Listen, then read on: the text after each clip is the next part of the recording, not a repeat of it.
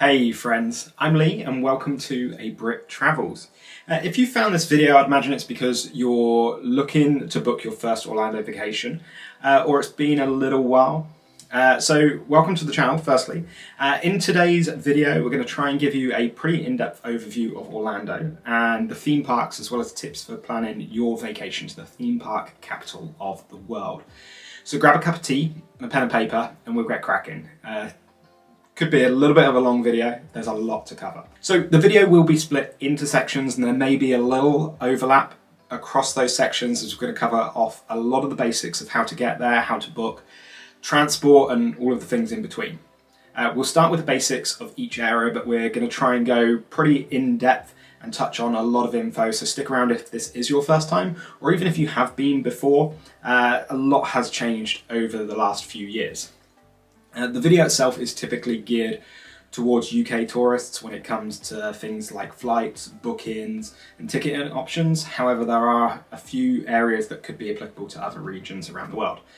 We've been to Orlando a number of times over the years, so we've seen the changes happening and we know how complicated it can get to book your vacation. Um, we wanted to just share some of our tips and some of our hints on how to do it and some best practices so you guys know what to do in the future basically. If you do find the video useful and informative, um, do give us a thumbs up so more people can see the video. It's designed to help as many people out as possible because we know how daunting it can be to book a vacation. Um, and do subscribe to the channel as well because we are heading to Orlando ourselves very soon and you guys can stick around for the series for that.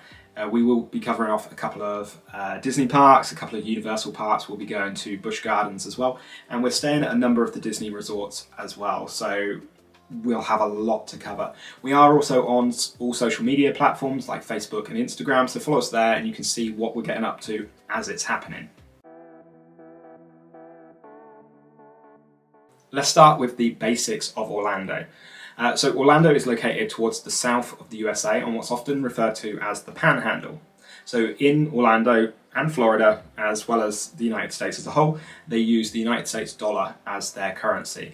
They also use those uh, two pin plug sockets uh, that are the straight plug sockets. I'll put that up on the screen now so you can see. Uh, so for the past few decades, Orlando has been seen as the theme park capital of the world, and I guess really the destination if you're heading on a holiday for a family vacation. Uh, Orlando and Florida is also five hours behind the UK in terms of the uh, time difference. The weather that you'll find here is typically pretty warm, however there are some days where you'll get a little bit of a chill in the air. Um, over the summer period you'll find that the weather is really really hot.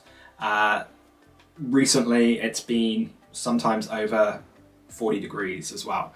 Um, but there will also be periods of very intense rain that'll only last for an hour or two at a time, but it'll be very intense. Around August to late September, that is hurricane season. Uh, you may not experience anything too severe, but there are times that it can be pretty intense.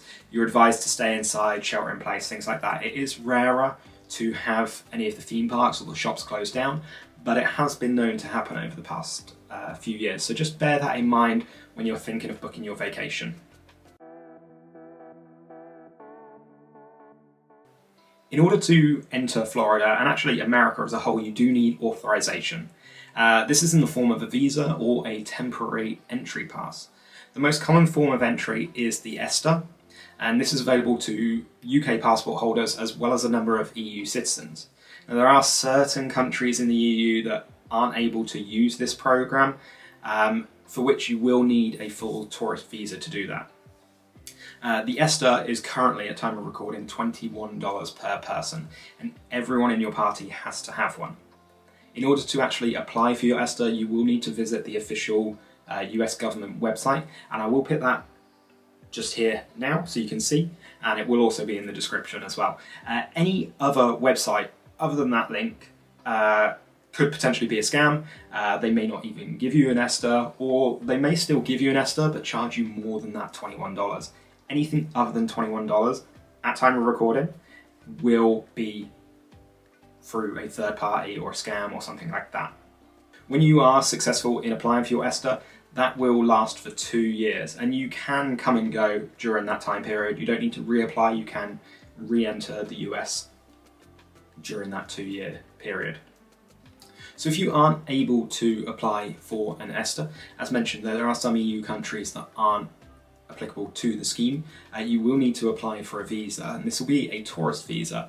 The one you'll need to apply for is a B-2 visa. This is the visitor's visa. It may require you to go to the US Embassy for an interview.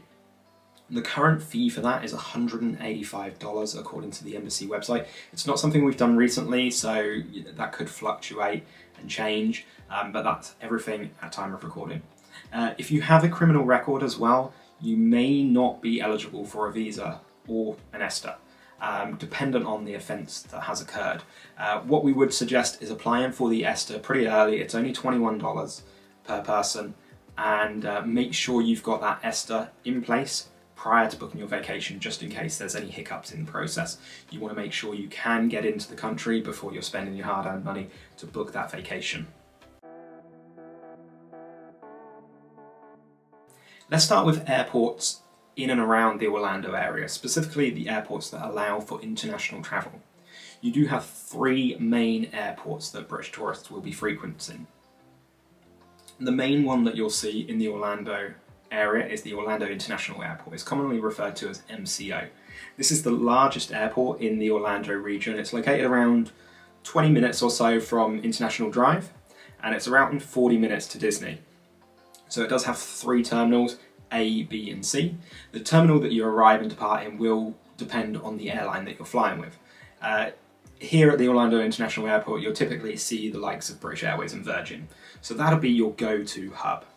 The next airport that British tourists frequent is Melbourne International Airport. It's commonly referred to as MLB, and this is located to the south of the Orlando area. It's around 1.5 hours to International Drive, and it's a little bit less to Disney in this case. You'll typically see the likes of TUI here when you're booking from the UK. The often forgotten option for flying into the Orlando region is actually Tampa International Airport. It's commonly referred to as TPA. Uh, this is located to the west of Orlando and it's around 1.5 hours from International Drive and Walt Disney World. You'll typically see the likes of British Airways and Virgin also from this airport.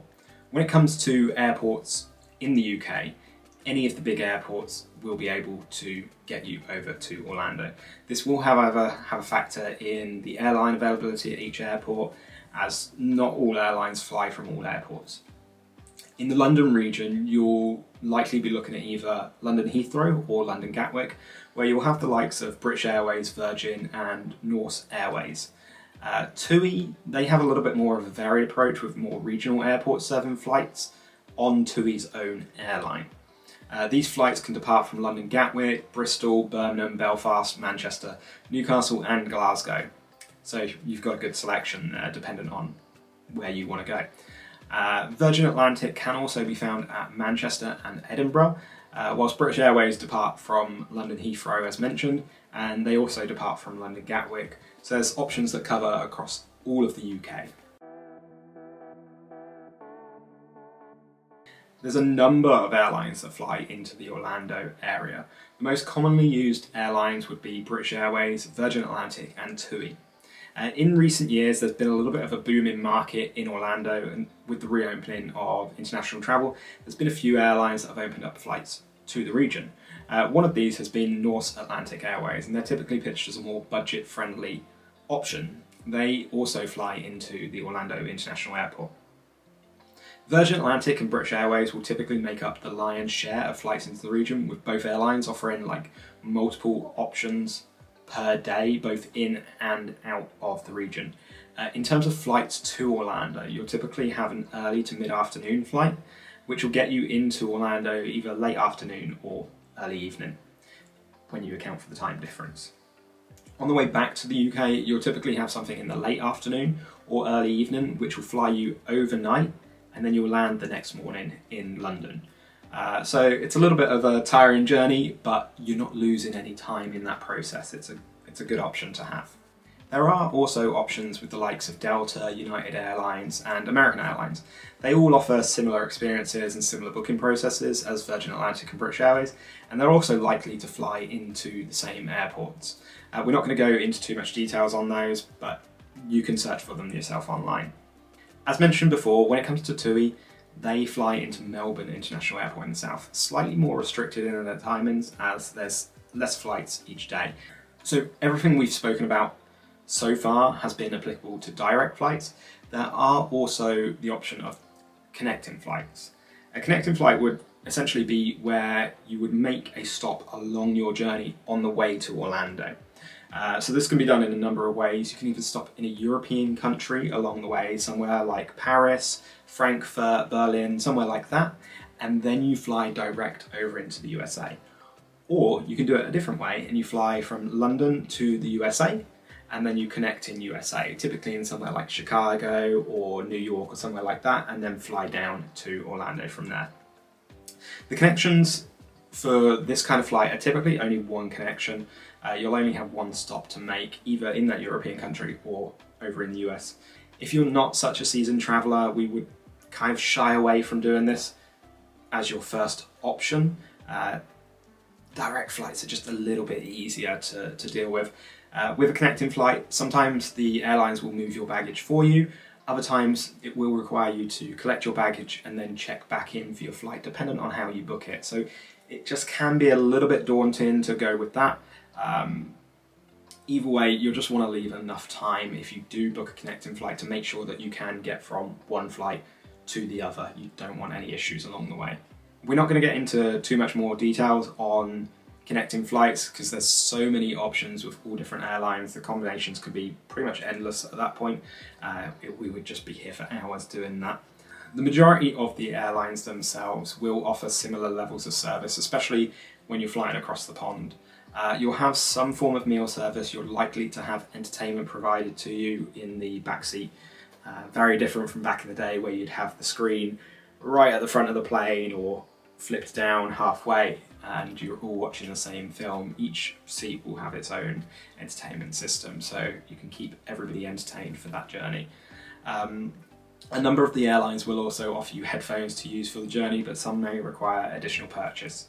Um, there are also different classes of the flights to take into account. The three main ones that we'll get into are economy, premium economy and first class. Each of these takes its own flavour, once again, it just depends on the airline that you're flying with.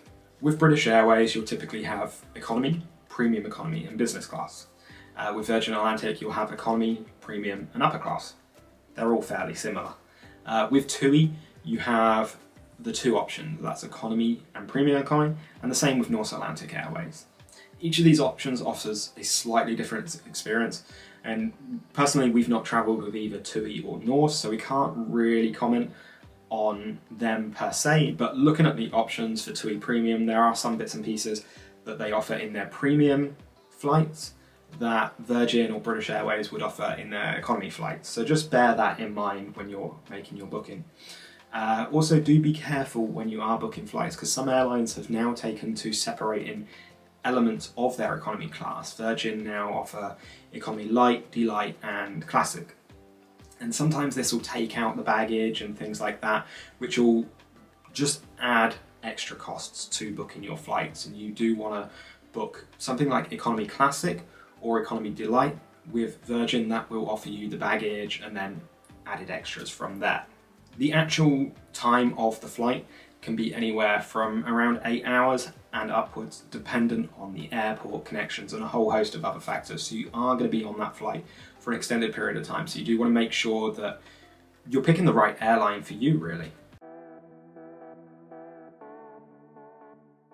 Uh, when searching and paying for that flight, there's a whole host of ways that you can book these, either direct with the airlines themselves or through third-party booking websites or travel agents. Some of the websites that we use to check flights are Skyscanner, Netflights and Travel Supermarket, and we also look directly at the airlines on their own websites. Just be mindful when searching for flights because as less seats become available, the pricing will fluctuate. It will also change the more times it's searched for, and as you can imagine, the time of year will also change that price as well. I wanted to give you an idea of our thoughts and feelings and what we generally do. Uh, I can't personally comment on Norse Airways or TUI, as we've typically flown either Virgin Atlantic or British Airways, and both of those are pretty similar. We generally prefer Virgin Atlantic as we prefer the look and feels of the plane, uh, and Virgin also offer a good rewards scheme as well for frequent flyers. We've flown with Virgin Atlantic in all of their classes that they offer, Economy, the cheapest option, is often still pretty nice with the staff being very attentive and the food options are pretty good for plain food.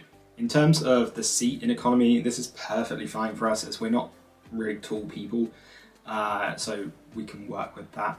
Premium economy with Virgin offers a slightly bigger seat in width, as well as the amount that you can recline your seat as well, and all the other areas are just generally a little bit nicer.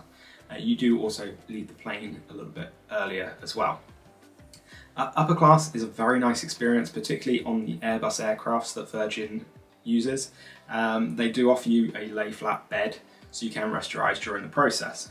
Uh, it is significantly more expensive though, and we don't really feel that it's necessary to book that, especially on the way out, uh, because we generally want to stay awake for as long as possible on the first day uh, and make sure that we don't have any jet lag basically.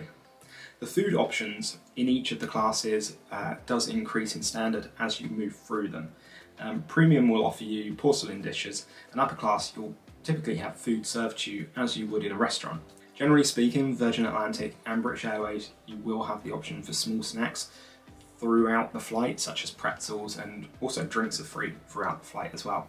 Uh, if you are flexible with your dates and times or the airport, and maybe if you're not too fussy who you're flying with, you'll have tons of options to get yourselves to Orlando. Uh, but search around and find the best option for you and whatever's uh, cheaper or whatever's the nicest option that you decide. Let's talk about how you book everything. We've covered flights a little bit already and you've got a number of ways to book everything as a whole. Uh, you can book with the likes of Disney or Virgin, who will both offer options for packages. These can be booked with or without flights and can include tickets that we'll cover off a little bit later. You can also book packages with the airlines themselves. Uh, in the case with Virgin Atlantic, this would come under Virgin Holidays, and also British Airways do offer packages. You do also have travel operators in the UK who will be able to book packages for you, and this is something that TUI is particularly known for, and they'll take care of most options along the way, although there is a chance that it will be more expensive. Another option that you can use is an independent travel agent or something similar like that.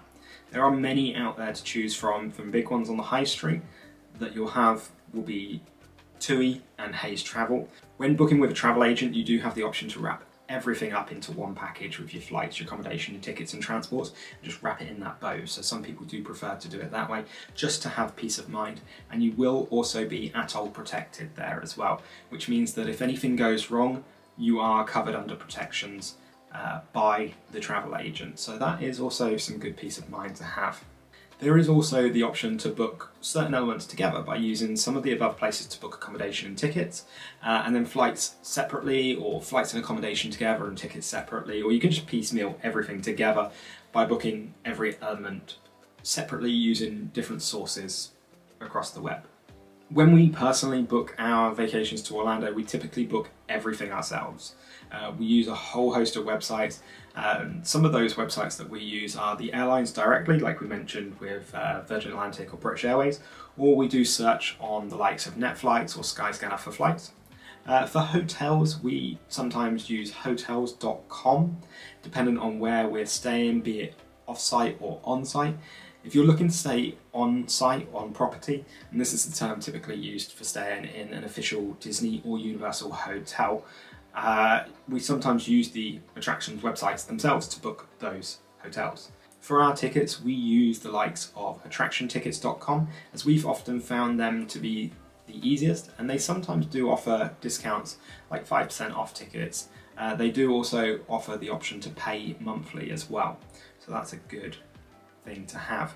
Attractiontickets.com do also offer you the option to book hotels through them, so you do have that option to book your hotel and your tickets in one package there.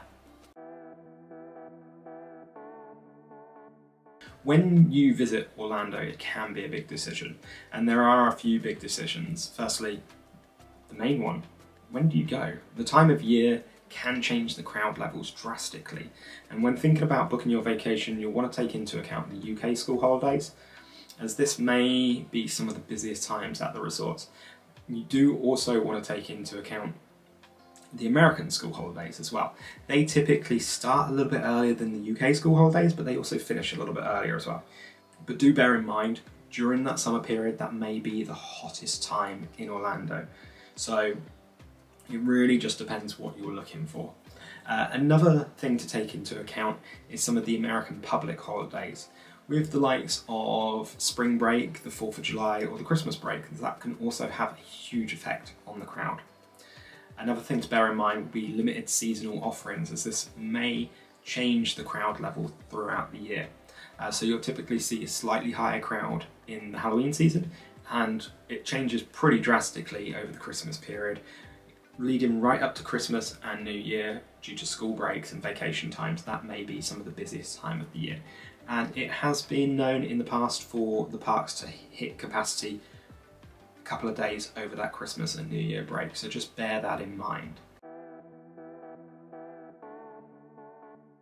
Let's talk about spending money and the best ways that you can do this. Obviously, you can take cash to Orlando with you, as this still is widely accepted across all of the theme parks in the Central Florida region. There may be some booths in certain theme parks that prefer card payments though, so just think about that uh, you do have the ability to take your existing credit or debit card over to Orlando with you and use that. Sometimes you may need to inform the bank that you are traveling just to prevent any fraudulent activity flagging up on your account. When you do take your cards over to Orlando, if you are using just your existing ones, you have to be wary that they do charge you extra. They will charge you a pretty bad exchange rate and they may also charge you a little bit of an extra fee that they put on top of the card as well. Uh, in the US, when you're using cash points as well, if you're taking cash out from that cash point, there will be a charge, much like you'll see in some of those PayPoint cash points over here in the UK, and it'll be a handful of dollars that they'll put on top of the fee. So if you're taking out $50, for instance, it may be $55. There are also the options for travel cards, and these are special cards that will charge you in British pounds whilst you pay in the local currency, in this case, United States dollar. There's a number of these on the market and they all have pretty similar functionality. You have the likes of Monzo, Revolut or the post office and you top these up as you go along. So that can be for good or for bad. You can uh, save up throughout the year. If you got the post office card in January and you were to put £100 on, every month before your vacation, you know, you may get over a thousand or over fifteen hundred pound on there by the end of it, and then you pay in uh, in dollars when you get that. You also have Chase, who offer fee-free abroad on some of their accounts, uh, and other credit card companies may not charge you any transaction fees for using your credit card abroad. Uh, they can also offer certain bonuses too when looking at these options. We personally use a company called Curve, uh, they have a free service which doesn't require a top up as it's connected directly to your credit or debit card. Uh, that has to be a UK issued credit or debit card. What will then happen is when you pay, every time you pay for goods in the US, your credit or debit card will be charged in British pounds, whereas then you will be paying in dollars. And that'll be a pretty favorable exchange rate as well. This can give you some pretty big savings over the rates that the banks charge you, and they also don't then have those little fees tacked on top. Uh, with Curve, you do also have the option to pay for the next level. Uh, you've got Curve Black and you've got Curve Metal at time of recording, and that'll offer you additional benefits like travel insurance or gadget insurance, things like that.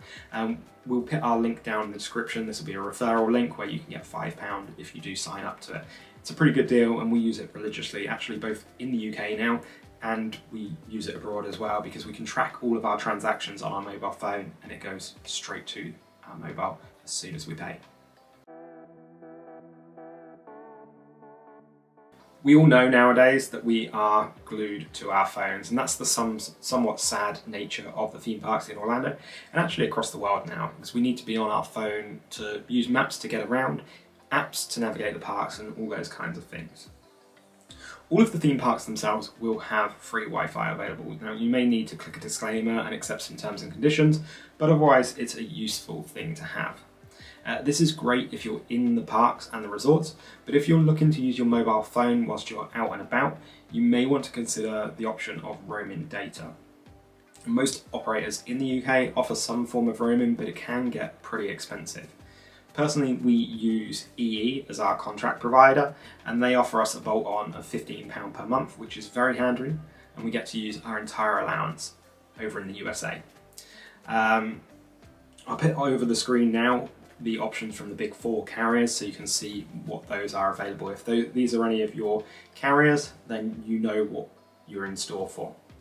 There is also the ability to purchase a SIM card when you arrive in the USA from someone like T-Mobile, AT&T or Cricket Wireless. Uh, this can also be a little bit of an expensive option as the mobile phone plans in the USA are more expensive than here in the UK. We're quite fortunate in that sense, despite what we feel sometimes with ours being fairly expensive. Uh, there is another option as well available to you, and that is a virtual SIM card. Uh, we've used previously a company called Airalo on our Hong Kong trip, and they provide a virtual SIM card that can be used in various destinations around the world, and it's perfect for a couple of weeks. Uh, both of those options with the SIM card over in the USA and the virtual SIM card from somebody like Airalo will require you to have an unlocked phone. Um, and the Airalo option may not be available on some phones. If you have one that's a little bit older, uh, as you do need the ability to have an eSIM on your phone. Our next topic that we have to cover is transportation, so how to get from the airport to the parks. There's a number of options to get you from the airport, somewhat dependent on where you stay and also what we would recommend too.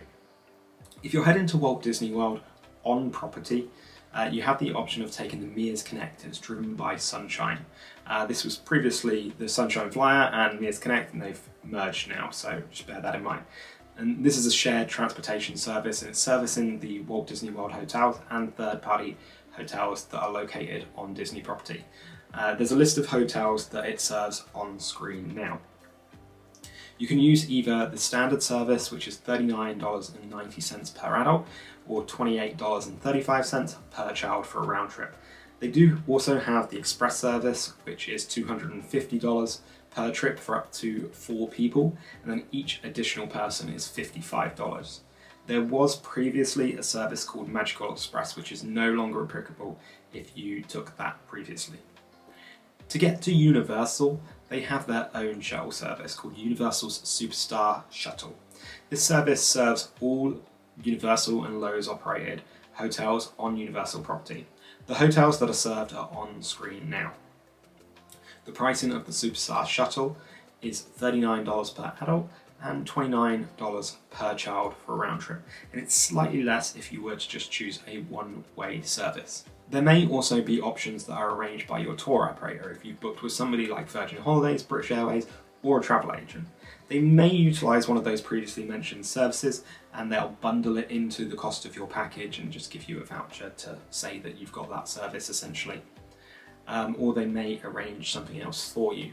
Another option that is quite popular nowadays are ride sharing apps. The likes of Uber or a popular one in the USA is Lyft. Now, ride shares like this can be used to and from the airport, but can also be used in and around the local area as well. Uh, but the costs can start to add up, so just bear that in mind. Uh, you can download both of these apps whilst you're in the UK and set them up here, connecting your credit or debit card, or one of those travel cards that we mentioned previously. Typically with these you will see a standard size car, however there are options for bigger vehicles if there are more passengers.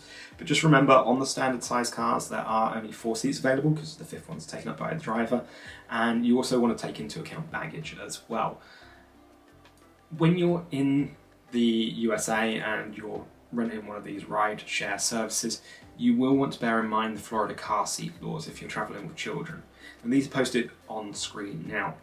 And there are no exceptions to these laws outside of the ages, so if your child is or will be in the age range, then all of the relevant seats and boosters will be required.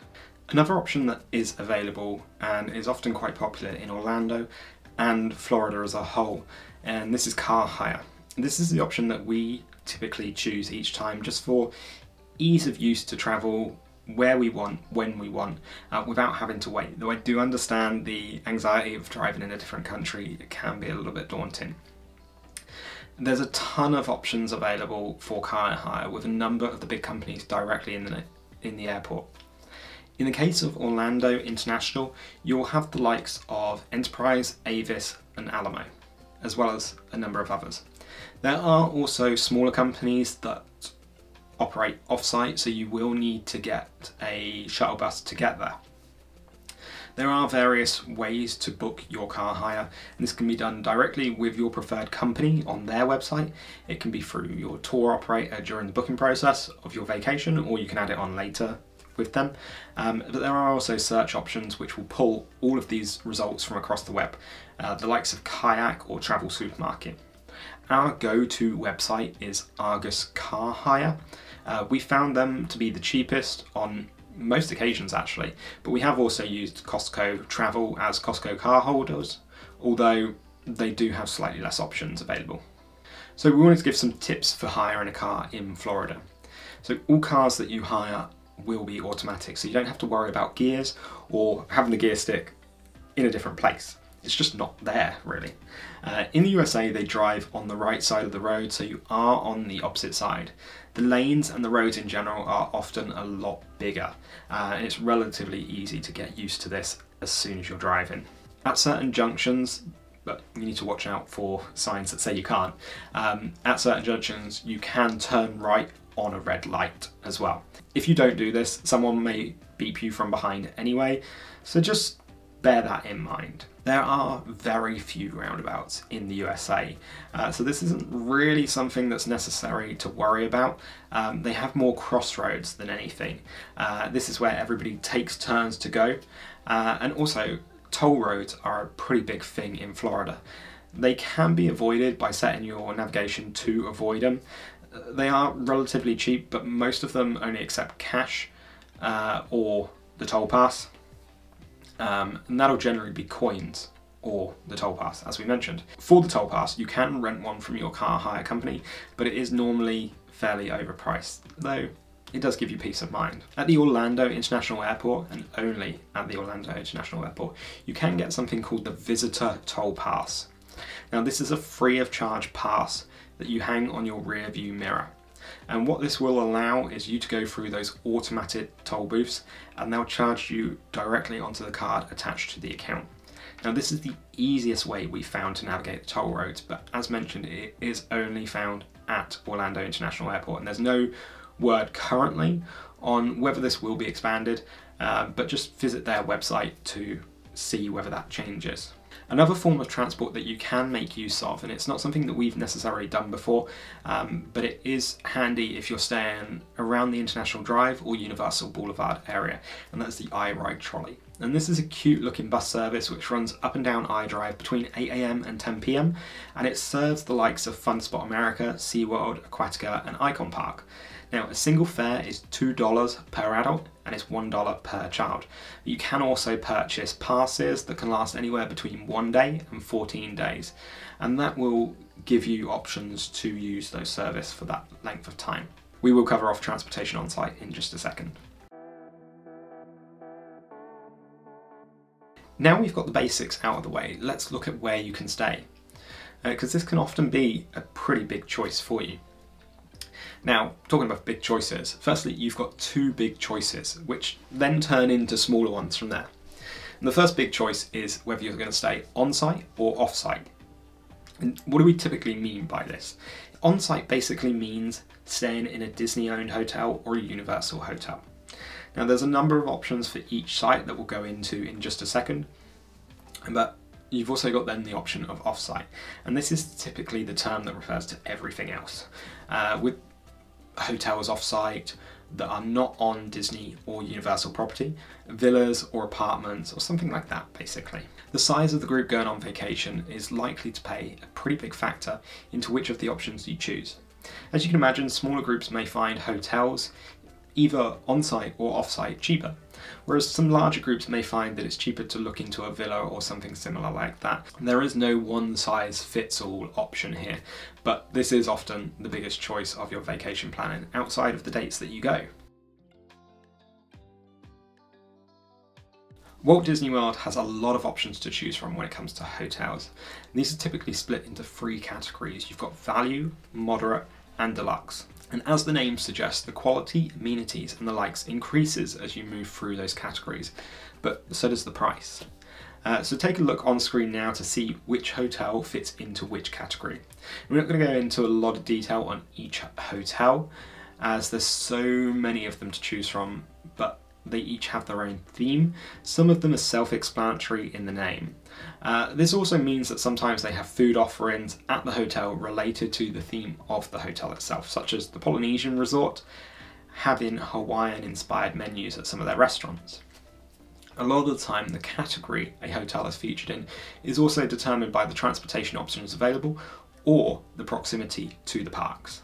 As you saw with the likes of the Contemporary, the Polynesian, and the Grand Floridian are all deluxe resorts. Now, they're located on the lagoon that is connected to the main theme park, the Magic Kingdom. They have a monorail service directly at the hotel to go to the park, as well as connections to Epcot. Now, these hotels are also within walking distance of the Magic Kingdom too, so that will play a huge factor in the price. Each hotel at Walt Disney World has transportation links to all parks. Now this can be via the monorail as mentioned for those particular deluxe resorts. However, all hotels do offer bus services and some have the ability to walk to one or two parks. A few of these hotels also have one of the newest modes of transport, the Disney Skyliner. And this is a suspended gondola service which links Art of Animation and Pop Century to Hollywood Studios and Epcot. But it also links to Caribbean Beach Resort and the Riviera. Uh, all changes are made at the Caribbean Beach Resort as this is the main Skyliner hub and some resorts also have the option of boat service to certain parks as well. Recently, Walt Disney World has made changes to their hotel parking policy for hotel guests. Now, if you are a guest at the hotel, you no longer have to pay for overnight parking. If you're staying at a Disney hotel, you also get parking at the theme park too. So that may be something that you want to factor in when you look at where to stay. As parking in the theme parks is $25 per day, so if you are going for an extended period of time, that can really add up. In terms of the on-site transportation too, you also have the option of a Minnie Van. Uh, this is essentially a Lyft rideshare, uh, and it's booked via the Lyft app. However, all drivers are Walt Disney World cast members, and the cars can look pretty cute too. They should be equipped with car seats, chargers and other nice to have features, but they can be quite expensive, so we generally say use them sparingly if cost is a factor when you're deciding things. Personally, at the time of recording, we've only stayed at the Caribbean Beach Resort, so it's difficult for us to make any real recommendations on where you should stay. On our upcoming trip though, we are booked to stay at All Star Movies and also at Coronado Springs. So do stick around and subscribe because we will have videos up from both of those resorts with our thoughts and feelings after the fact on whether we liked those resorts or not. If you're staying in a Disney World hotel, you are able to book dining reservations up to 60 days before your vacation for a 10 day period in total. Once you hit 70 days in total, it will open up each day thereafter. The time to book reservations is 6am Orlando time, and that is generally 11am in the UK. Another perk that you would have staying on site as well is early park entry. Now, that isn't a lot of time, but you generally get around 30 minutes in each of the parks before normal day guests are allowed in. So that is another perk to consider when booking your vacation. Universal Orlando also has a number of hotel options available and these are split into four categories. This time with value, prime value, preferred and premier resorts. Much in the same way as Disney, the quality increases as the level goes up, as does the price. Now take a look on screen now to see which hotel fits into which category. As with Disney, we won't go into too much detail on each hotel individually, however we will note a few points. None of the Universal Orlando hotels are operated by Universal directly, they're operated by the Loews hotel chain. Now, this isn't necessarily a detriment to the hotel, as it can be seen as a benefit in some instances, as Loews is a pretty established hotel operator. Much like the Disney hotels, you will have transport options available. Uh, the preferred and premier resorts will offer you the quickest route to the parks, as they'll often have a walk-in route they may also have a water taxi service available, uh, though these are typically low capacity but they do come fairly frequently. Cabana Bay and Aventura have a walking path directly to Volcano Bay as well. The newest resort at Universal Orlando is the Endless Summer Resort. Now, this is their most budget friendly option. It is located a little further away from the parks and there is no designated walking path, but they do offer bus services. It can be a little bit trickier to get to the parks in that case, but the bus services come pretty frequently. With this being the most budget friendly option available, they also do have some suites available at really good prices. So you can get a two bedroom suite for an amazing price and house some of those larger groups. Now, one of the perks for staying in a premier hotel at Universal Orlando is the free express pass that each guest gets for the length of their stay. And that includes check-in and check-out day. So if you only have a couple of days at Universal, uh, this is normally a pretty amazing perk as it can cost a lot for everyone to get a pass and it saves so much in QN. Another perk that you have with the Universal hotels and staying on site with Universal Hotel is that early park entry. Now that is typically around an hour or so before day guests can get into the park. You do want to be there right at the front of the queue though if you are going to utilise that early park entry as some of the more popular rides fill up pretty quickly and you can still get quite a wait for them with the likes of Hagrid's and Velocicoaster posting some of the largest waits across the resort. At the time of recording, we have no experience staying at a Universal hotel, so we can't really recommend any of them or give feedback. But as mentioned with the Disney hotels, do stick around because we are staying at Cabana Bay and we are also staying at the Endless Summer Resort in our upcoming vacation. So we'll have a few videos up on those offering our thoughts and feedback from that stay. There is also options of staying off-site. And now this typically means staying somewhere not on Disney or Universal property.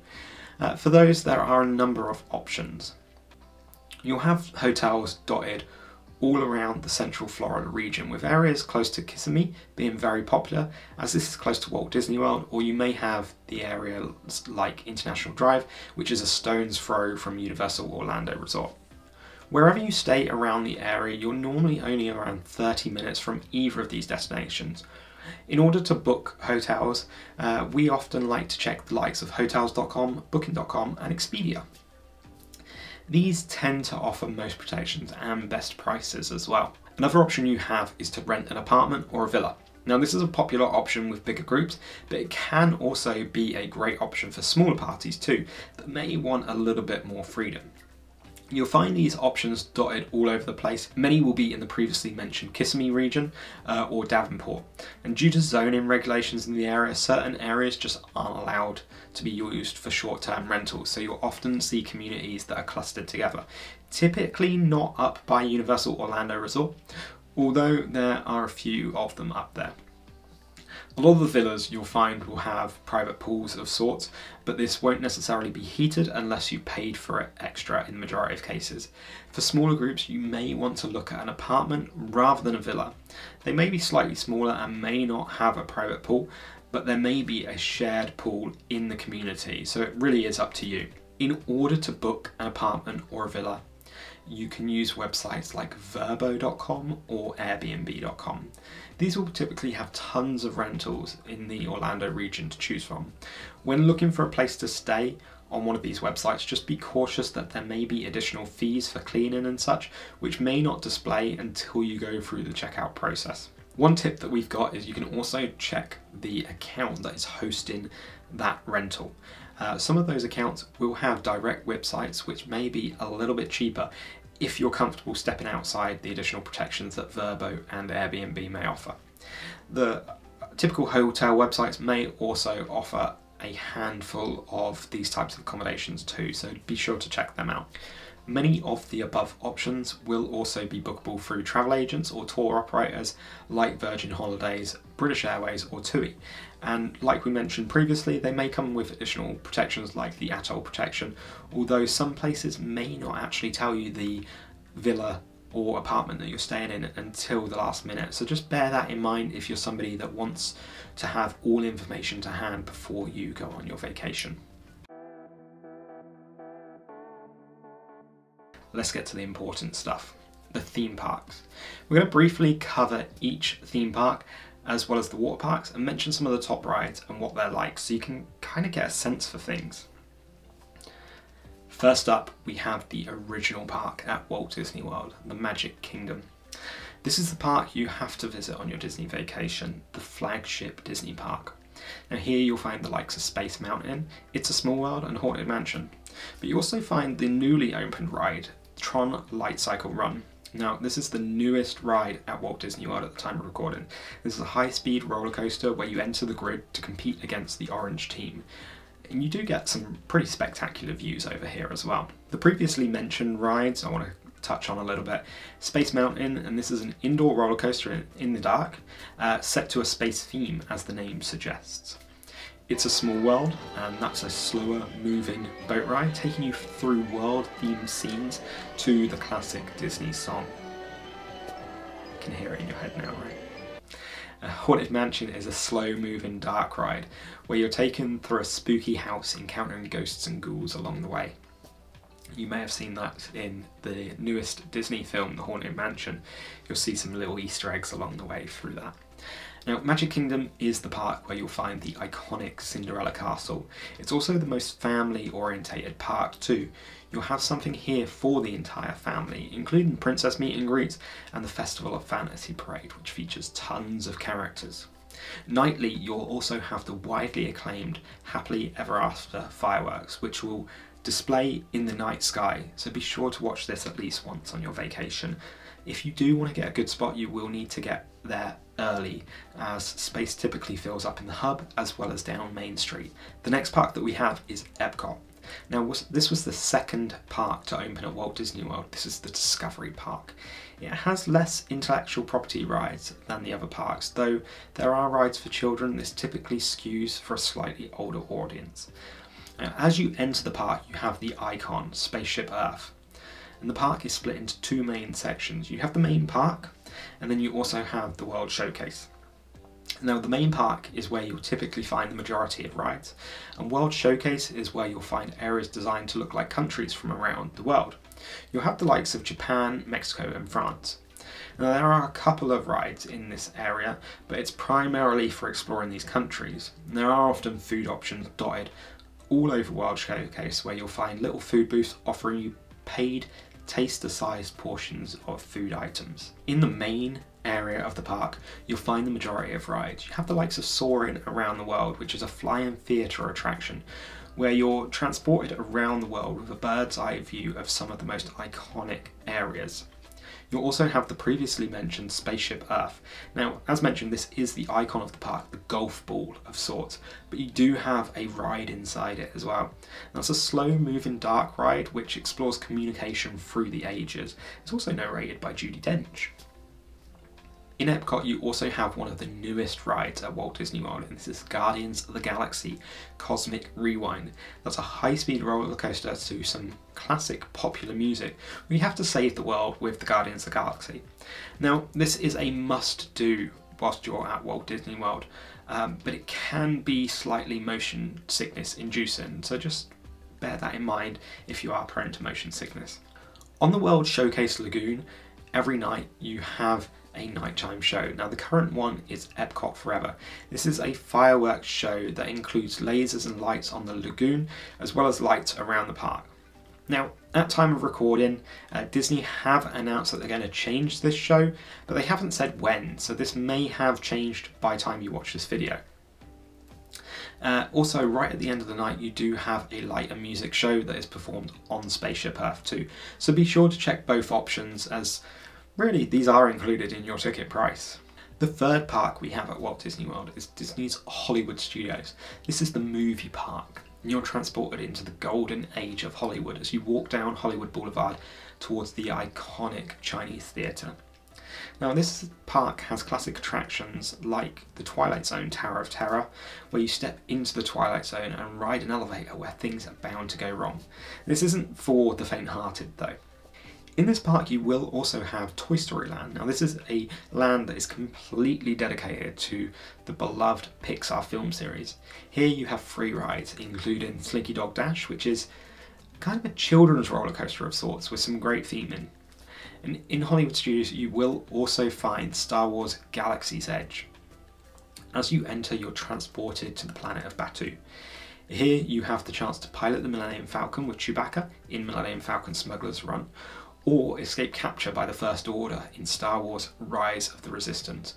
Now, Rise of the Resistance is a revolutionary dark ride. It's really long and well worth the queue that it can command. You move around the First Order ship, encountering many bad obstacles along the way, and we 100% recommend doing this ride if you are at Hollywood Studios. Also at Hollywood Studios, almost nightly, you have the Fantasmic Nighttime Spectacular. Now this is located in a theatre just off of Sunset Boulevard by the Tower of Terror. This is a hugely over-the-top nighttime show featuring a huge amount of characters, special projections and fireworks to top it off, and it's a great way to end the day. Despite it being a huge capacity, the theatre does fill up pretty quickly, and it is also outside, so if it rains, you may get a little bit wet. The final theme park at Walt Disney World is Disney's Animal Kingdom. This is the zoo park, let's say. It features loads of animals from all across the natural world. The icon as you walk into the park is the Tree of Life. It's a huge tree that has intricate carvings in the trunk so go and see which animals that you can spot as you walk close by it.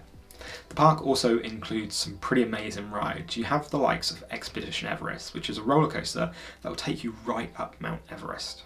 You may encounter a Yeti along the way that's causing a little bit of mayhem.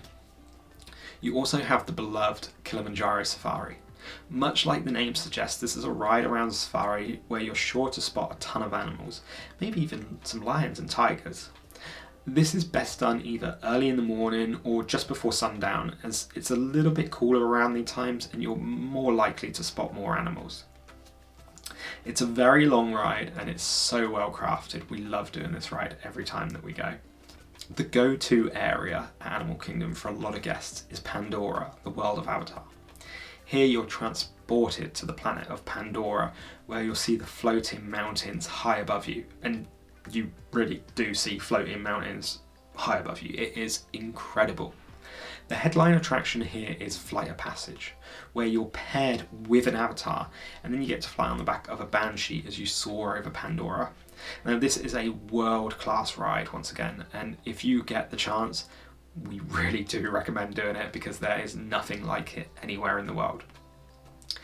At Animal Kingdom, there is no out and out nighttime show because of the animals. They don't have fireworks, they can't set them off.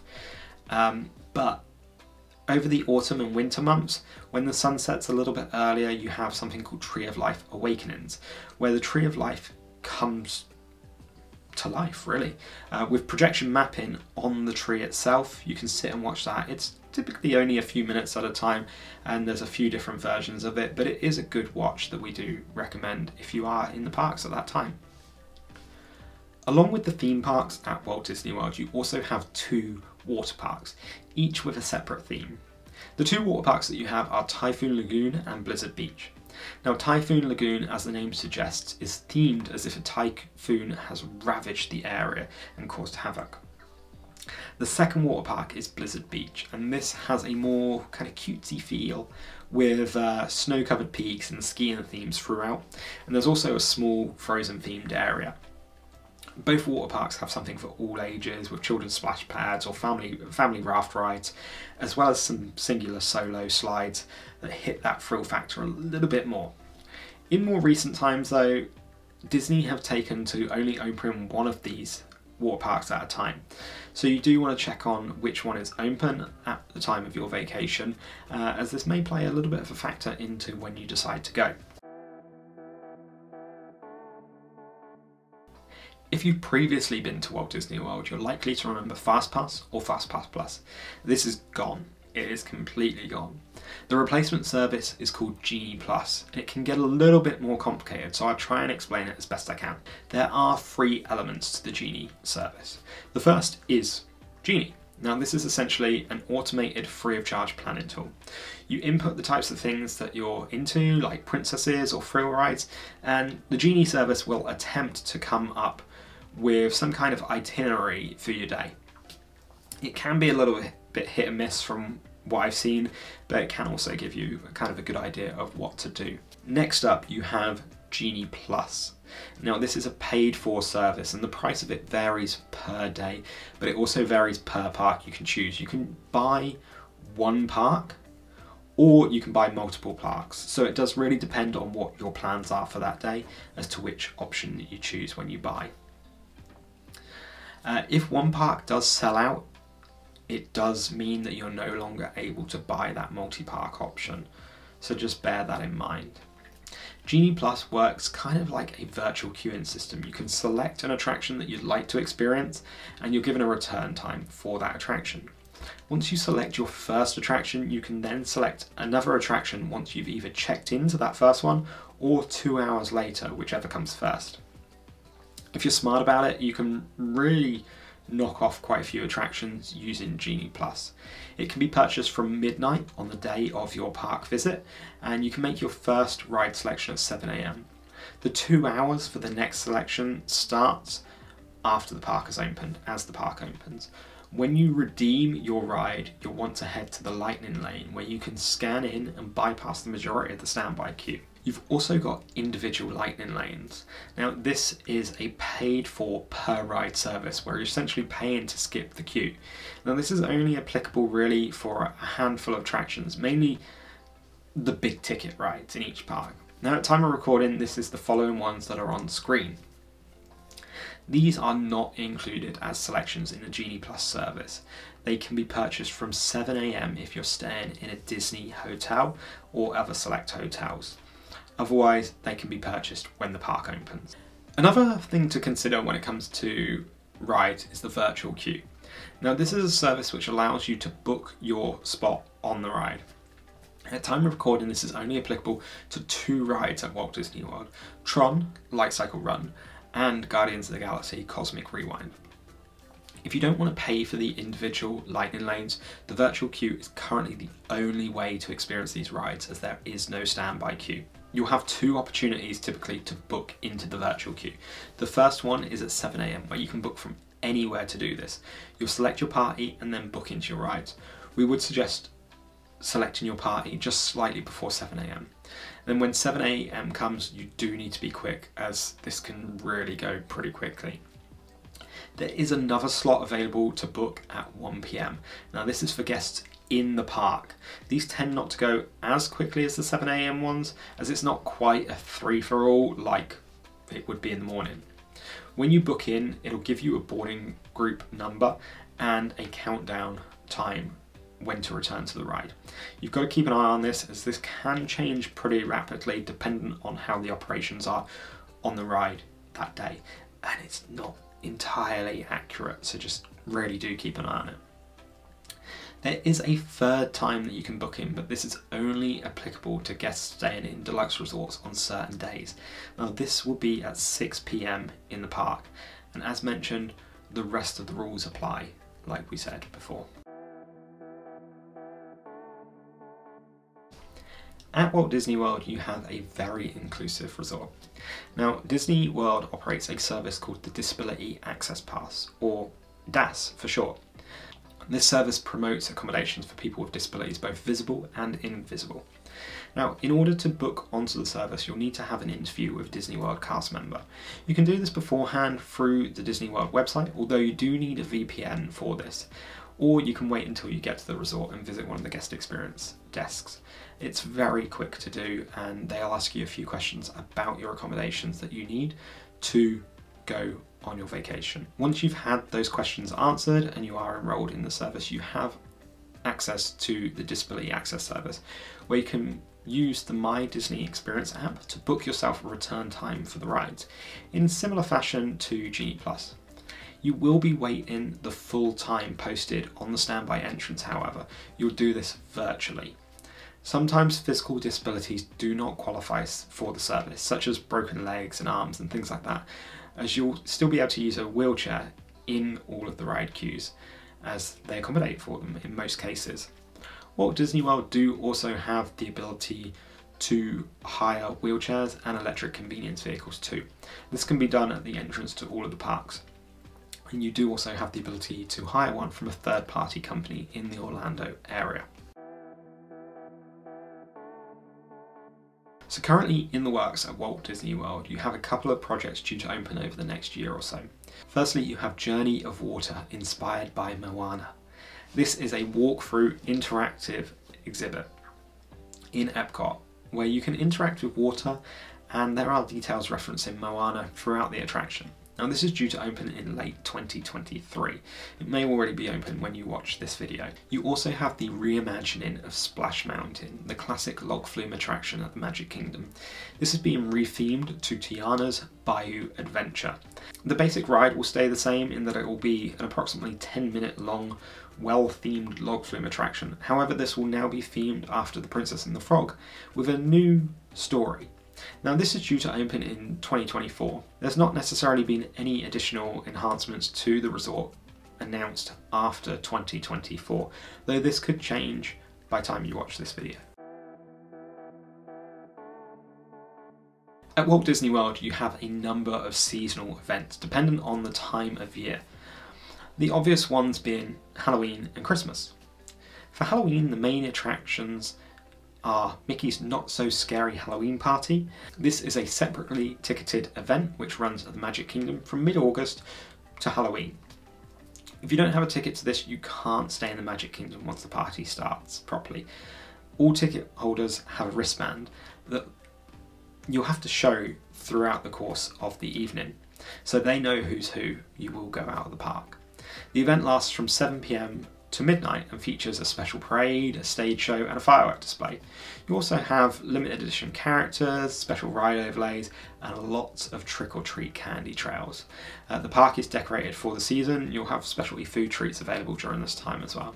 You will have special food options all over Walt Disney World for the Halloween season. For Christmas, the whole resort gets decorated with Christmas trees and decorations everywhere, including gingerbread creations. You'll have special tree hunts at Disney Springs Shopping Village and special food across the entire resort. You'll also have two parties taking place from mid-November to Christmas. The first one of these is Mickey's Very Merry Christmas Party, taking place at the Magic Kingdom. As with the Halloween event, if you don't have a ticket, you won't be able to stay in the park. Here you have the same kind of things, a special parade, stage show and fireworks. You also have a cookie stroll around the park and hot chocolate too, as well as special characters to meet and greet. New for 2023, and there's no word on whether it will return for 2024, is Disney Jollywood Nights. Now this takes place at Disney's Hollywood Studios on select nights again. The same ticketing rules apply. Again, you'll have a special fireworks show on the Chinese theatre, Jingle Bell, Jingle Bell. Uh, you also have a stage show presented by the Muppets and once again special character greetings. At Epcot, you'll have events throughout the year which can change the dynamic of the park. Now these events happen in normal hours and they don't require an additional ticket. You'll have the Festival of the Arts in the first couple of months of the year. You'll have loads of artists showing off their work as well as cool food items to try. You have Flower and Garden Festival in the spring to summertime, where you have food booths and topiaries all over the park. In the late summer to autumn, you'll have the Food and Wine Festival. This, as the name suggests, focuses on the food with loads of food booths all over the park themed to different countries. And then in the winter, you'll have the Festival of the Holidays, where they decorate the park for the Christmas season, and countries offer their different interpretations of the holidays through character interactions and talks with certain people. There are a few more bits and pieces to Walt Disney World. And this place is basically a huge city. The biggest one that comes to mind for us when we look at a Disney vacation is Disney Springs. Now, this is the shopping district to the south of the property. Here at Disney Springs, you'll have tons of shops and restaurants. You'll also have a few attractions and other things to do. Entrance to Disney Springs is free, as well as the parking there being free, but obviously the shops, restaurants, and attractions aren't. A couple of the restaurants that we like to recommend are Chicken Guy, which is a typical uh, chicken and chips restaurant, but they have over 20 sauces to choose from. It's pretty cheap, but we think it's pretty good food. We love it. Another place is Polite Pig. Now, this is a quick service barbecue joint. Also relatively cheap, but it's packed with a lot of flavour. We do also recommend a stop by Gideon's Bakehouse, if you can, to get a couple of their insanely good cookies. There can be a very big queue for this place sometimes though. At Disney Springs, you, you will find the world of Disney. This is the huge Disney store at Walt Disney World where you can get all of your merchandise. On Disney property, you also have a couple of miniature golf courses too, Fantasia Garden and Winter Summerland. Each of these has two routes of 18 holes and they're priced at $14 per adult and $12 per child. It's a great way to spend a non-park day.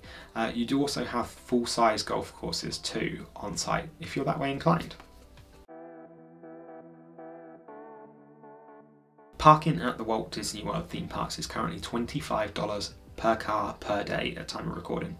Once you have paid, that ticket is valid for the entire day at all of the Disney World theme parks. The water parks are free of charge for parking. If you're staying at a Walt Disney World hotel, the parking at the theme parks is free for the length of your stay. As mentioned previously, Disney Springs parking is free, but you can't park here and go to the theme parks. It's just not really an option. If you have a dining reservation, at one of the hotels, you're able to enter the hotel car park free of charge for a couple of hours.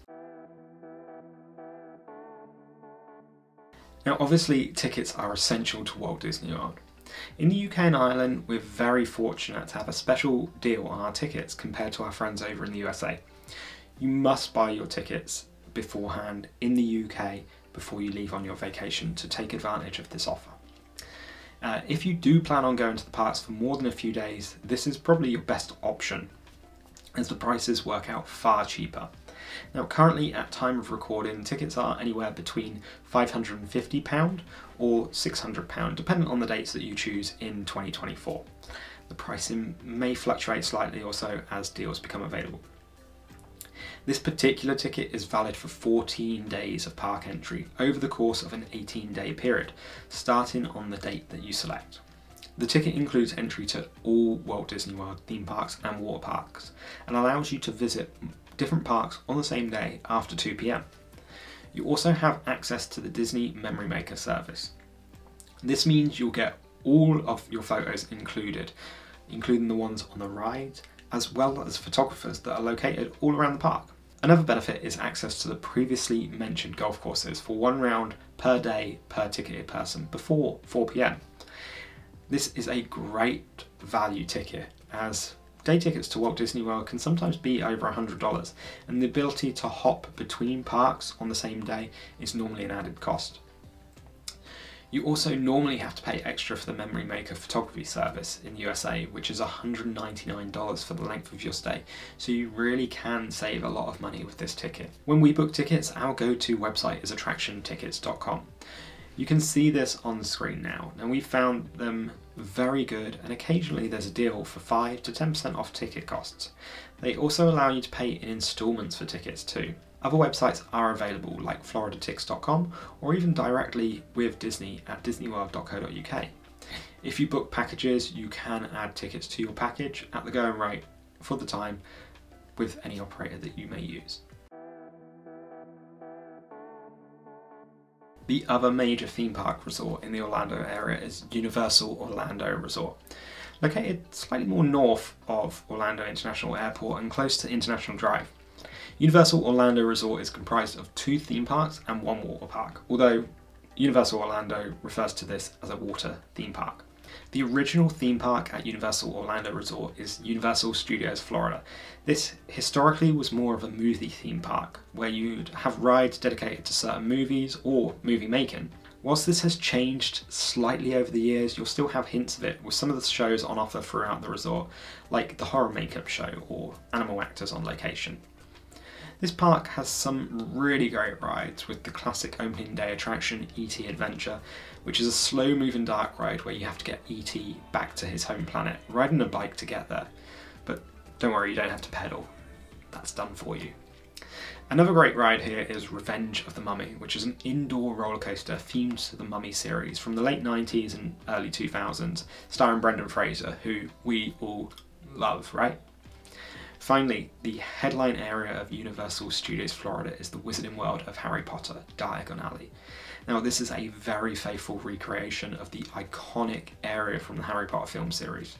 This area has one attraction, and that's Harry Potter and the Escape from Gringotts, which is kind of a hybrid roller coaster dark ride where you journey inside the Gringotts vaults and come face to face with some of the bad characters from the series, like he who must not be named. The newest ride at Universal Studios Florida and the newest ride at Universal Orlando Resort as a whole is VillainCon Minion Blast. Based on the Minions franchise, this is a slow moving interactive blaster ride where your job is to rack up as many points as you can using your blaster. Now, it's suitable for all ages according to Universal as long as you can stand, and this is on a moving walkway conveyor belt. So, just make sure you can stand and you can ride the ride. Although I do hear that the blasters can be a little heavy. The second theme park you have here at Universal Orlando Resort is Universal Islands of Adventure. This is quite a bit bigger than Studios Park and is separated into distinct lands. In this park you'll find the likes of Marvel Superhero Island, Toon Lagoon, Jurassic Park and Seuss Landing. Think of Dr. Seuss, Cat in the Hat, Grinch, things like that. Here you also have another Wizarding World and that is the Wizarding World of Harry Potter, Hogsmeade Village. This is where you'll find the iconic Hogwarts Castle Hogsmeade Village features three attractions Harry Potter and the Forbidden Journey, which is a slow moving simulator taking you around the Hogwarts castle and the grounds. You'll also have Flight of the Hippogriff, which is a small family roller coaster. Now, you do also have the somewhat recently added Hagrid's Magical Creatures Motorbike Adventure. This is a high speed roller coaster taking you around the Hogwarts grounds on Hagrid's motorbike themselves encountering loads of creatures along the way. In the Wizarding World, you also have the Hogwarts Express. Now, this is the iconic train that you can ride and be transported between the Wizarding World here and the Wizarding World at Studios Park, going from Hogsmeade to London King's Cross. This does require a park to park ticket to experience. At Islands of Adventure, you also have the recently added Velocicoaster, which is once again a high speed roller coaster taking you over the island's lagoon and through a velociraptor paddock as well. So you want to be quick and not get caught by those velociraptors. Both of the Universal theme parks are typically geared towards a slightly older, more thrill-seeking demographic than Disney, although there are rides for less thrill-inclined and small children, with the Minion area at Studios Park and also Seuss Landing in Islands of Adventures. There are a few smaller rides for smaller children. At Universal Orlando Resort, you do also have Universal Volcano Bay. This is what Universal has dubbed a water theme park, featuring an amazing volcano, Krakatoa, towering over the park and acting as a kind of centerpiece. You have beaches and lounges located all around the park, as well as tons of slides. You also have a lazy river and a fast moving river too, and even a water roller coaster. This park is a lot of fun and one that we don't think you should miss, even if just for scenic elements. If you are a top thrill seeker, you can even venture to the very top of the volcano and take on one of the plunge slides where the floor will literally drop out from underneath you and you come shooting down. If you're not such a thrill seeker, at the bottom of the volcano you do have the beach and a wave pool, and you can also explore the volcano too, which has many interactive elements, both inside the volcano and around the park. It's very cool. Universal, somewhat like Disney, have a shopping district, although this is a lot smaller than Disney Springs. You'll have Universal City Walk. This is where you'll need to walk through and what links the parks if you are parking in Universal's parking garage. Here at City Walk, you have a number of dining locations, including the Hard Rock Cafe, which is the biggest in the world. You also have Toothsome's Chocolate Emporium, a chocolate themed steampunk vibe restaurant, as well as tons more restaurants. Now, if you fancy something sweet, we recommend heading to Voodoo Doughnuts as well. This is a really well themed donut shop with tons of options that are really cute. At City Walk, you also have a sports bar, a cinema, a two course mini golf section, and two escape rooms, one themed to Jurassic World and the other themed to Back to the Future. So, needless to say, there's quite a bit to do in such a small area. Universal Orlando Resort, much like Disney, is always expanding. Now currently Universal is doing this at a much quicker and much bigger rate than Disney. Having recently opened VillainCon Minion Blast in the new Minion Land, Universal is fast at work adding an additional children's focused area to Studios Park. Recently they closed what they dubbed Kid Zone. Now this is being re-themed and set to open in 2024 and the new area will be themed to DreamWorks animation so you'll likely have the likes of Shrek and Trolls in the area and hopefully this new area will be very good for smaller children typically geared directly towards them. Also, coming up in 2025, Universal are opening a whole new theme park. They're calling this Universal Epic Universe. This is located about two miles from the main Universal Orlando campus. Uh, the new theme park is currently rumoured to feature four distinct lands as well as a central hub that'll have a few additional attractions. Although very little has been announced for this theme park at time of recording, the theme park is rumoured to feature lands based on How to Train Your Dragon, Universal Monsters, Harry Potter, and primarily Fantastic Beasts, although the ride is rumoured to be more geared towards Harry Potter. And finally, what could be considered the headline land at Epic Universe, Super Nintendo World. This is rumoured to feature free rides, a Mario Kart themed interactive dark ride, a slow moving Yoshi ride, and a unique Donkey Kong roller coaster. If any of this at all sounds like something you're interested in, keep an eye on announcements as it's scheduled to open in summer 2025. Although, as mentioned, not a lot has been announced really, and all of this is subject to change as well. At Universal Orlando Resort, you have a number of events celebrating different holidays throughout the year. Starting in the spring season, you have Mardi Gras. Now, Universal Studios comes alive with the New Orleans vibes, with tons of food and drink. You'll also have a Mardi Gras parade which travels around the park. Now, this is a free event, so you don't require an additional ticket. You just need to be in the park to see the happenings. For Halloween, which is September through October on select nights, you'll have Halloween Horror Nights. This is a separately ticketed event and it's been going on for over 30 years at this point. This is the premier Halloween event in the Orlando region. Now, Halloween Horror Nights is meant to be scary and it's advised for anybody to be 13 years and older. Here you have the park decorated for the scary season. You have 10 themed horror mazes, typically themed to original Universal inventions, and also some that are based on popular films and TV shows. So you've had the likes of Stranger Things and The Last of Us recently. You also have scare zones throughout the park and shows across the resort too, as well as some limited food offerings and just some really great decorations. So if this is what you're into, we'd say go and check it out. For the Christmas season, you have both parks getting dressed up for the season, as well as special events throughout. Universal Studios will have the Macy's Parade taken to the street, and in Islands of Adventure you have Grinchmas with a special holiday show presented by the Grinch. Once again, you have food and drink offerings that are specially made for this occasion. Both the parade and Grinchmas are free to see, so you don't need a separate ticket to see these events. It is a great addition to the parks at this time of year.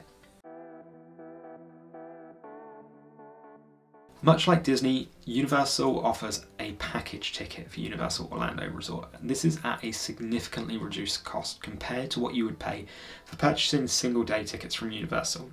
If you plan on going to the resort for more than a couple of days, and trust me, like Universal is really turning into a destination where you want a handful of days, your best bet may be to purchase that two week special ticket. This is dubbed the Universal Orlando 3 Park Explorer ticket. Now, at time of recording, this is priced at £345 per adult and slightly cheaper for children. This ticket covers you for 14 days at both Universal theme parks as well as Volcano Bay Water Park. Typically, if you were to purchase single day tickets, this can be up to $100 per person and sometimes even more, depending on the day. And that's not accounting for park to park access, which is required to ride the Hogwarts Express. Although, if you were only looking for a day or two, single day tickets may be cheaper. If we're looking to purchase single day tickets, we like to use the Universal app to do that, or we use somebody like Undercover Tourist who will be able to offer you ticketing options. However, when we book our two week tickets, we like to use the likes of attractiontickets.com or floridatix.com, as previously mentioned, like we do with our Disney ticketing options. Whilst you're at Universal Orlando Resort, you have a few transportation options on property. As previously mentioned, you have the option to walk from a few resorts to the park. You'll also have the water taxi options available that can take you from a few resorts to City Walk and the parks. Each resort has a bus service to City Walk too, so you're conveniently located. And as Universal Orlando is much smaller than Walt Disney World, there's less need for transportation on property. Parking at Universal Orlando Resort is $27 per car per day, and this is prior to City Walk. You have to walk through that from the parking garage. If you do arrive after 6 pm outside of Halloween Horror Nights, you do get free access to those car parks as they'd like you to visit Universal City Walk.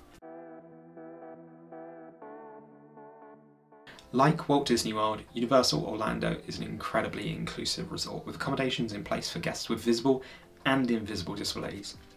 The process of signing up to Universal's Access program is slightly different, however. In order to do this, you will need to register with a third party company and provide proof of your disability. The link for this can be found in the description.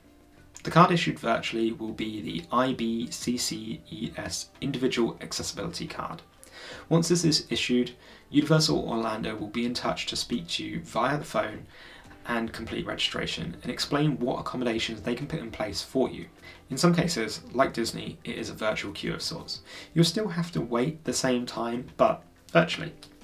The difference with Universal is you're given a card which you take to the front of each attraction, they'll issue you a return time and then you come back to visit the attraction. You can only have one of these in play at a time. Much like Disney as well, certain disabilities will not be applicable, like broken legs and arms and things like that. Uh, Universal Orlando Resort offers you the option to hire wheelchairs and electric convenience vehicles too. But you can also purchase these at the entrance to each park or in the parking structure if you require it a little bit sooner. You do also have the ability to hire these from third party companies in the Orlando area. So let's talk about applications. When you go to Orlando with the two major theme park resorts, you have Walt Disney World and Universal Orlando. And as I mentioned in the section about mobile phones, you're pretty reliant on your mobile nowadays. Uh, so there's two main applications that you'll have. You'll have the Disney one, which is called My Disney Experience, and then you'll have the Universal Orlando Resort app. So what we're going to do is just give you a little bit of a brief overview of what these apps are, how reliant you'll be on them, um, and what you can do in them. So we're going to assume that you've uh, downloaded the app, you've gone into whichever app store that you have, be it the Apple App Store or the Google Play Store, you've gone in and you've downloaded the Disney app. That is the My Disney Experience app, and the logo is a little blue logo uh, with the Cinderella castle on it. So we're going to go and open that app now and show you what it looks like. So as the app opens, you're presented with the main home screen. Uh, you see your name. We're doing this on an iPad, so it will look slightly different. This is just to make it a little bit clearer for you. You see uh, your resorts and all of your plans. You've got your park opening times down there. um, that show for the day of, and you can also click in and you can see the future park dates as well. And that will show you the times and the upcoming shows and things like that when you click today's show times. Here you can access your virtual queue for Guardians of the Galaxy Cosmic Rewind and Tron Light Cycle Run as well.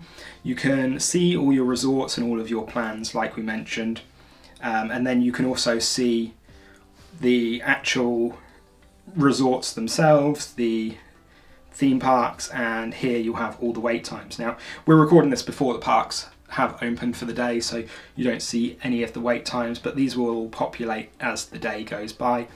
When you click at the top, you've got uh, various categories. So you've got your wait times, your attractions, your characters, so you can do character meet and greets throughout the park. You can see dining, entertainment, restrooms, and things like that.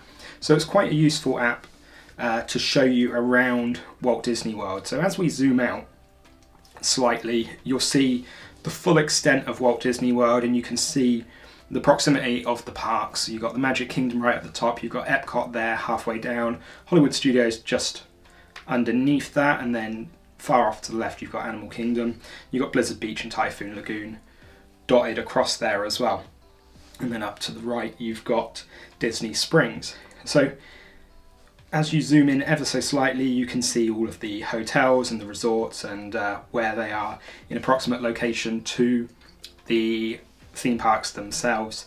Um, but this app is pretty crucial if you do have a Walt Disney World vacation. Uh, this is where you'll book all of your Genie return times, Genie Plus. Um, you'll also book your disability access service here.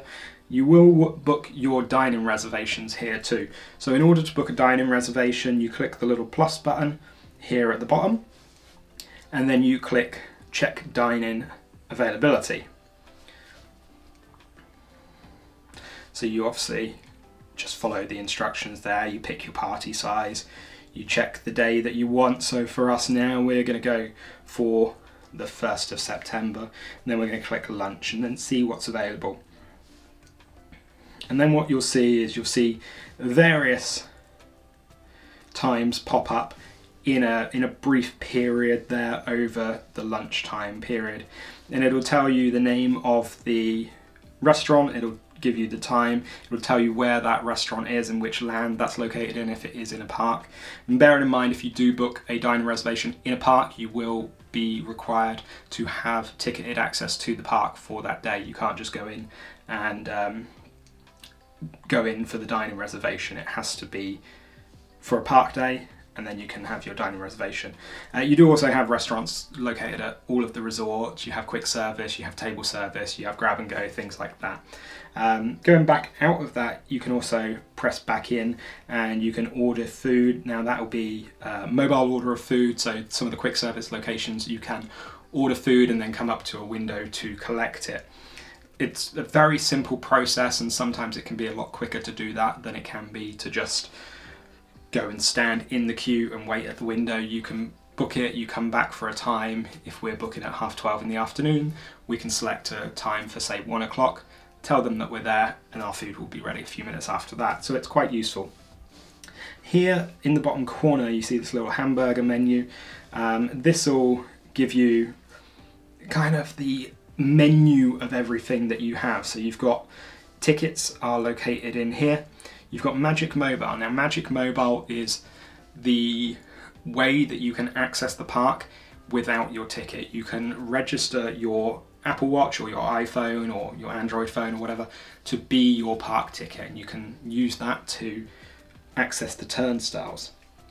Uh, you do also have magic bands. Now that's something I wanted to touch on a little bit as well.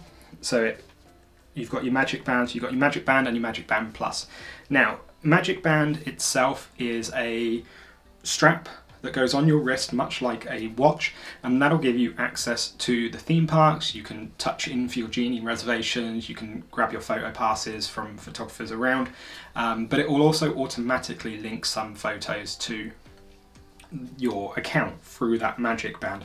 Now they are non-transferable so you can't go and buy used ones off eBay or anything like that.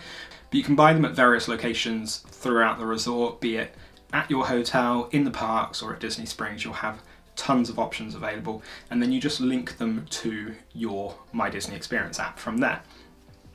You also have the option for Magic Band Plus. Now, the first Magic Band has a battery included in it that is non-rechargeable. So when that reaches the end of life, it will last around two years for some of that stuff, and then you'll be able to use it for an extended period of time to access the parks, but you won't get some of that automatic link in just due to the battery drain and things. Um, Magic Band Plus is a similar version, but it's rechargeable, it lights up and things like that. So it is a little bit more expensive. There is generally about $10, $15 difference there in price, so just bear that in mind. Um, but when it comes to Magic Bands, they aren't a requirement. You can get by without having them, be it using a card ticket or using your mobile phone or Apple Watch or something like that. So that's kind of the My Disney Experience app and Magic Bands. My Disney Experience is pretty much a requirement. You do need that application, at least one person in your party, to use it because it's so important. All your ride times are on there. You've got apps, you've got maps, and you check into all the locations using that. So uh, just think about that when you are booking your vacation. So the other application is the Universal Orlando Resort. And once again, we're going to assume that you've got this application as well. Universal Orlando, you search it, it'll be the Universal logo with Universal Orlando Resort on it, saying Universal Florida. So as we click into the application, it's not as essential as Disney and it's not as complicated as Disney. So you're presented with this home screen that'll give you this scrolling banner across the top and you can see sort of various little things that they want you to see up front. You can buy your tickets here, but this is single day tickets. Remember what we said there about the two week tickets that you have available. You really want to look at those two week tickets if you're there for more than a couple of days. You can see the park hours, you can see the map, you can see rides, shows and dining. So let's click into the map uh, and it's not as jazzy as the Walt Disney World one, um, but you can see all of the rides. So you've got the two parks here, you've got Universal Studios Florida to the right hand side there, you've got Universal Islands of Adventure there, and then just off to the side here you have Volcano Bay as well. And then you can see the resorts there. You can change the category of the ride dependent on which you want, and that'll just filter them away take away some of the water rides, 3D rides, thrill rides, things like that. So you can you can go through it that way, and then you can also change it so it's more of a list view as well. So you got quite a, you got quite a good application there. You can uh, once again you can buy the tickets in here if you just want the day tickets. You've got express pass and you've got extras as well. You do have your tickets in this area as well. I'm not signed into this application so we can't see too much in there but you've got your wallet and that'll be where you store you can store your tickets in there, but you can also store a payment method for, for if you want to do mobile dining, much like you can at Disney. There's just a few less locations at Universal. They're not as advanced in the mobile dining department as Disney is. Um, but that's a good, you know, we've got both of these applications. The Universal one isn't as essential as Disney, though we do recommend keeping it to hand anyway. So do download both of those applications if you're going to Walt Disney World and Universal Orlando.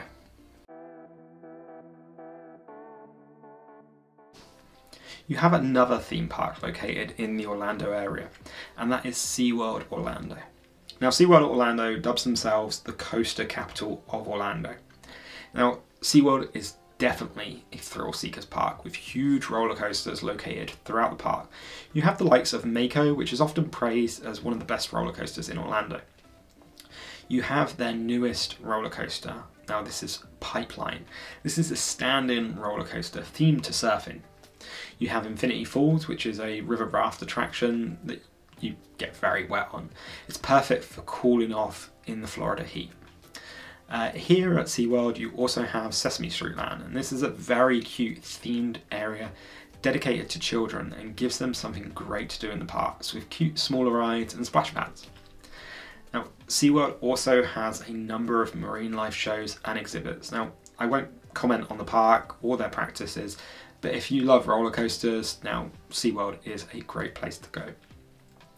SeaWorld doesn't have any of their hotels or anything like that, so you will need to source your accommodation from somewhere else. Uh, but it's somewhere, if you have a couple of weeks or a few weeks on Orlando, it's a nice park to visit. Located outside Orlando, but often visited by Orlando tourists, is Busch Gardens Tampa. Owned also by SeaWorld too. It's located around an hour from Orlando. Much like SeaWorld, it's very much a thrill seekers park. Here you'll find huge roller coasters and thrill rides, including the newly opened Iron Gwazi. This is one of the biggest roller coasters going. It's made up of wood and steel and it looks like a beast. You also have Cheetah Hunt, a triple launch roller coaster, as well as SheiKra, which features a 200 foot straight down drop. Now, the park also has zoo elements throughout, with animals nestled in amongst the park. Once again, if you are a thrill seeker, this is certainly the place to be. Both SeaWorld and Busch Gardens have single day tickets available on their website, and they also offer combo tickets where you can visit both parks within a set period. As with Disney and Universal, you can buy two week tickets from ticket outlets like attractiontickets.com or floridatix.com. These are very cheap compared to other parks at about £160 or something. So bear in mind when you're thinking of visiting for a day or so, you may want to get that two week ticket. You also have Aquatica included, which is a water park located close to SeaWorld Orlando.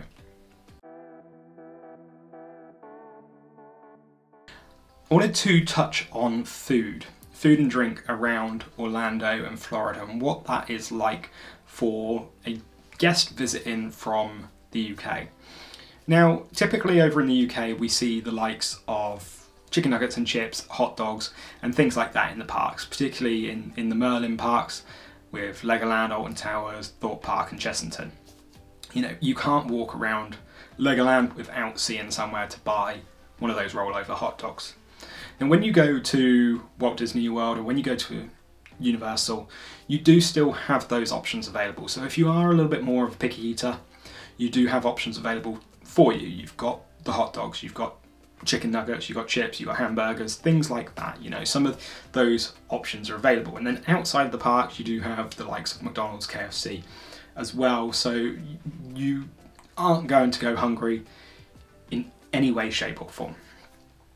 One of the interesting things that you will have though at Walt Disney World and Universal Orlando are a lot more variety in terms of restaurants and quick service options available. Um, so take the likes of the Magic Kingdom for instance, you've got something like Be Our Guest. Now this is a very immersively themed sit down restaurant themed to Beauty and the Beast. And that's a proper sit down three course meal that you can have. You can also have something at Cinderella's Royal Table, and that's a restaurant in the castle where you do character meet and greets with princesses, uh, whilst you then sit and have your three course meal as well. You will also find snack carts dotted all around the park, so you can get things like popcorn, you can get ice cream, and all that kind of stuff at all different locations throughout the parks.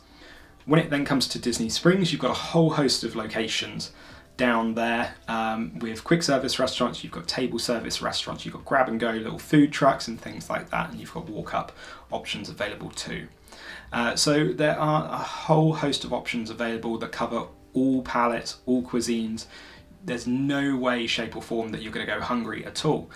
As we mentioned as well, at Epcot, you've got little food booths located all around the park. You have, particularly in the festival times as well, you've got these little food booths that are themed to certain countries. So you have China, you have Japan, you have Australia, things like that, and you'll have little dishes that are taster sized portions that are geared towards those cuisines. So there's such a variety of food. If you are a picky eater, you've got those options available. Uh, if you're a little bit more flexible in your palate, you've got those available as well. There really is something for everybody. And in the applications, you can see the menu for each of the food locations as well. So you can have a look at those before you make your decision. What we would suggest if you are a little bit more of a picky eater, uh, do have a look at the application beforehand and then you can have a look and see what it is that you may like to try when you visit those locations. And you can make yourself a little list. That's what we like to do of little snacks that we have around. There's also a Starbucks located in all of the theme parks as well. So you've got your typical coffees that you can have to get you through those long park days. When it comes to Universal, it's much in the same. You do have the grab and go options, you have quick service available, you've got cafes, and you have table service restaurants. Now, with Universal being a little bit of a smaller resort, there aren't as many options, but they've still got variety there available. You've got both of those parks that serve a whole host of options. You've got somewhere like Burger Digs in Jurassic Park, which will serve you your burgers, your chips, your chicken nuggets, things like that. Um, but then you've got another option somewhere like Mythos, which will give you a little bit more of a varied palette. Your, that's more geared to like Middle Eastern cuisines and things like that, particularly the Lost Continent area. Um, over in Universal Studios Florida, you've then got places like the Today Cafe where you'll be able to get just sandwiches, you'll get salads and the likes. Um, over in Diagon Alley, you've got some typical uh, pub grub food if you want some of that British cuisine as well. So you really do have options all across those two parks. Uh, and then you of course have Universal City Walk as well, which will have a bunch of restaurants. You've got the Hard Rock Cafe, you've got Toothsome's Chocolate Emporium, uh, you've got Bubba Gump's Shrimp Restaurant. You've got loads of options available for you dependent on what you feel like for the day and what your palate looks like. And then as mentioned, when it comes to off-site, you have a whole host of options. The likes that you'll see over here, but then you also have a bunch of table service restaurants. So if you have the option to get off-site, off of uh, Universal property, off of Disney property, you do have restaurants available to match any cuisine that you may like. So we know that has been a lot of information to take in, but hopefully it's kind of given you an idea of how to plan your Orlando vacation. There is so much that goes into it and we know it's a really big expenditure and something that every member of the family is going to cherish those memories for years to come. So you do want to make it right. We know how stressful it can be. If there are any further questions that are really racking your brain, do feel free to put a comment down at the bottom and we'll try and answer them to the best of our ability. Like we said, we are heading to Orlando very soon as well, so we will have a series up covering Disney, Universal, as well as Busch Garden, and some of those hotels in and around the area. So be sure to stick around for that and keep an eye out so you can really get a sense and a feel for what everything is like over in Orlando. So thank you very much for watching if you've got this far and hopefully you have enjoyed the video throughout. If you have, it'd be great if you could give us a thumbs up because it really will help more people see this video. And if you could hit the subscribe button, the bell icon to be notified when we post all new videos, that'll be great. We'll see you on the other side. Thanks.